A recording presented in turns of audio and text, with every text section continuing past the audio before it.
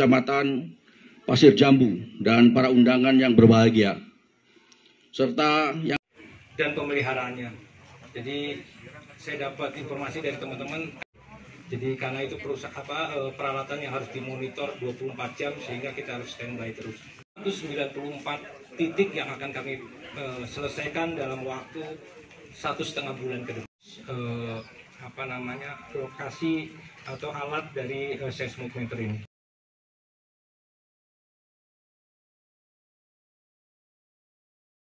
SSI. Terima kasih hadirnya. Kemudian juga Kepala Pelayatno MM yang kebetulan juga mewakili Bapak mohon salam kami untuk Bapak Gubernur dan Bapak Wakala Pelaksana BPBD Kabupaten Bandung, Bapak Dr. Andes Haji Ahmad Johara eh, bekerja sama lama, cukup lama dengan BMKG, yaitu Ini mohon doa restunya. Nah. Amin. Terima kasih doa. Nah.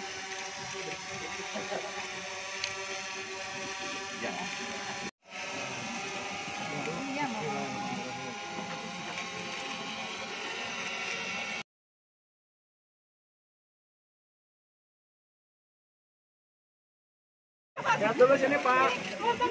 selanjutnya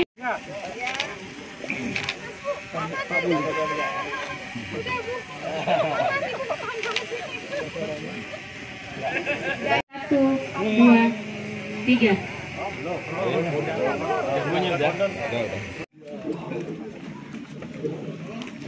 kita agak ke. Ibu Dwi Korita Karnawati MSC Bu ya. kami silakan Kang. Mohon izin ya Bapak Ibu dan teman-teman media mohon doa restunya Bismillahirrahmanirrahim maka dengan ini eh, sensor broadband atau seismograf broadband gempa bumi dinyatakan diresmikan. Mari Bu. Mohon maaf hanya terbatas karena agak sempit. Sabar dulu kasih masuk dulu. Wartawan,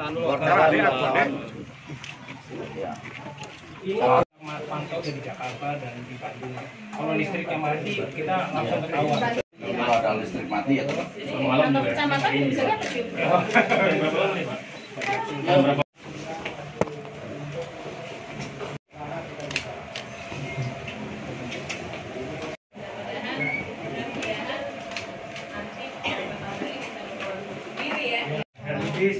kita jelasin teknis sedikit ini. Jadi ini ada dua sensor bu, yang satu merekam aktivitas seismik ini.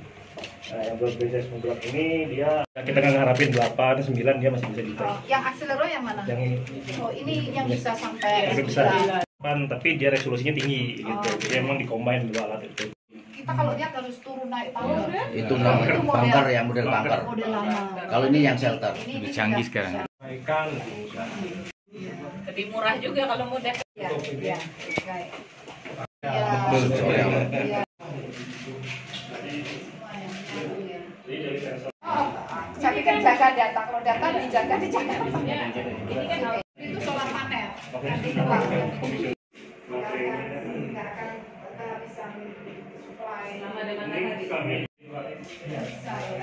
Jadi kalau nah, itu tinggal Telepon komunikasinya dua, ini WhatsApp ya. Ini sinyal buat gempa itu Pak ya? Iya, sinyal seismik.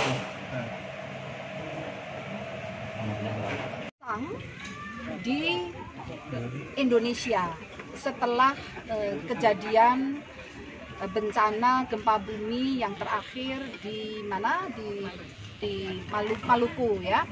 Itu dan juga ini kan sebetulnya eh, karena kejadian di Palu juga ini pertama kali ini kami pasang dan dalam waktu sampai satu setengah bulan akan terpasang 194 sensor dan ini merupakan lompatan karena sejak eh, gempa Banda Aceh saat itu sensor gempa bumi di Indonesia hanya 20 sensor yang bekerja.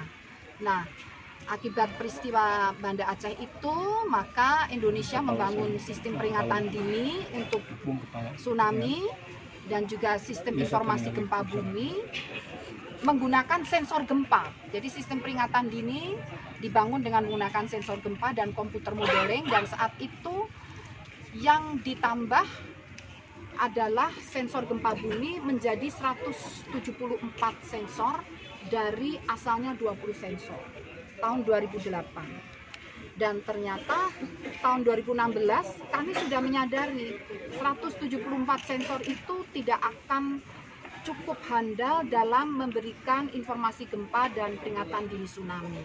Oleh karena itu kami berupaya menambah sensor yang lebih memadai dan akhirnya eh, dua tahun kemudian, tiga tahun kemudian eh, berhasil menambah 194 sensor untuk tahun ini dan tahun depan sekitar 150 sensor. Hampir 400 lebih sensor. Jadi pertimbangannya adalah untuk meningkatkan kecepatan perhitungan dan akurasi perhitungan, sensor-sensor gempa itu harus merata, tersebar merata. Nah, sebelumnya karena jumlah sensor terbatas, di zona pasir jambu ini eh, masih ada blank, tutup, agar nanti sinyal-sinyal yang terkirim itu lebih lebih eh, merata, lebih cepat dan lebih akurat. Eh, kalau potensi gempa eh, di wilayah Indonesia relatif tinggi sama. Jadi pertimbangannya adalah kerapatan jaringan sensor untuk meningkatkan kecepatan dan ketepatan serta akurasi perhitungan eh, magnitudo gempa dan akhirnya kecepatan dalam memberikan peringatan dini tsunami. Eh, kalau Pasir Jambu ini eh, eh, Kalau Kabupaten. Bandung Dua ada dua. 20. Oh, di sini ada dua ya. kabupaten itu ada dua. Ada Oh, dua. nanti memberitahunya seperti apa mungkin? 22. eh, seluruhnya 20 20 Jawa Barat. Jawa Ya, Bu. Barat 22. 22. Cara kerjanya mungkin Bu Dari merekam merekam getaran-getaran termasuk akan akan teridentifikasi getaran gempa itu sinyalnya khusus itu tadi udah terlihat dari TV sinyal getaran tadi getaran kita semua di sini itu udah terekam. Itu kan grafiknya gini itu kaki-kaki kita yang bergetarkan itu udah terekam. Namun kalau ada gempa bumi pola getarannya itu akan beda. Jadi cara kerjanya sensor ini mendeteksi getaran-getaran yang ada dan tidak hanya sensor ini ada sekitar 200 sensor yang lain atau nantinya menjadi 400-an sensor yang lain. Seluruh sinyal itu dikirim ke pusat ke Jakarta Legend atau otak tiruan di komputer yang menghitung dari sensor yang masuk itu bisa menghitung magnitudo gempa ada berapa 5 atau 7 atau 8 ya magnitudonya. Kemudian posisi pusat gempa ada di mana, pada kedalaman berapa dan secara otomatis dengan komputer modeling akan dimodelkan berpotensi tsunami atau tidak. Inilah yang dikatakan early warning system. Dengan komputer modeling memprediksi kira-kira berapa menit lagi tsunami akan terjadi. Jadi biasanya sekitar 20 menitan ya tsunami itu tergantung posisi pusat gempanya. Tapi seperti di Palu itu sangat dekat sehingga itu hanya dua menit. Multi Multimoda. cara, multimoda. Ada yang langsung ke masyarakat Ya. melalui SMS. Yang tadi otomatis kalau ada Plastik. eh, empat kabupaten di lokasi terdampak otomatis menerima SMS. Itu sudah Itu sudah alat pendeteksi gempa ini eh, bagi Kabupaten Bandung merasa dibantu tidak Pak? Eh, jelas kita sangat terbantu sekali. Eh, pertama mungkin ini sebuah kepercayaan ya dari BMKG, dari BMKG, di mana dari 194 kabupaten kota di Indonesia, maka sekarang Kabupaten Bandung itu yang pertama untuk Indonesia kaitan dengan eh, pemasangan seismograf, eh, Pendeteksi. eh, alat pendeteksi gempa bumi ini. Jadi ini jelas eh, akan sangat membantu sekali bagi kami, terutama jikalau ada gempa nanti eh, ini akan dengan mudah kita dapat mengakses ke semua warga maupun ke BMKG. Nah, Pak Kala kenapa dipasang di Pasir Jambu ini? Kan paling rawan gempa di Kabupaten Bandung daerah selatan. Selatan ya. Yang paling dekat kita ke pantai selatan itu adalah ya termasuk Ciwidey, Pangalengan, ya masih Jambu sini. Dan kebetulan dari sisi lahan dan lain sebagainya untuk pengamanan tempat juga di sini cukup membesar. Ini eh, salah satu peralatan eh, di dalam stasiun seismik, Pak. Iya. Nah, kalau tadi Bapak lihat di dalam itu sensor seismometernya, nah kalau ini peralatan untuk eh, merubah eh, menjadi data digital. Oh, begitu. Proses kemudian. Eh, namanya apa ini alatnya, Pak? Oh, ini di- digitizer Pak namanya. Oh. Ini digitizer, kemudian ini ada sistem akuisisinya, ini bisa sampai 60 hari penyimpanannya, kemudian ini ada modem VSAT untuk komunikasi ke Jakarta, Pak. Ya. Nama siapa, Pak? Yudhistira, Pak, Sebagai? sebagai engineer. Ah, iya.